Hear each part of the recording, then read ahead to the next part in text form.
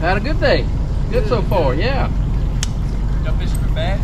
Yeah. What y'all using? A little bit of everything, bro. Bit of everything? Yep. What? Is there any luck back there? Yeah, we caught some back there. But we did. We started about halfway down, so y'all are good for a while. Oh, really? Yeah. What y'all catching? A little bit of everything, man.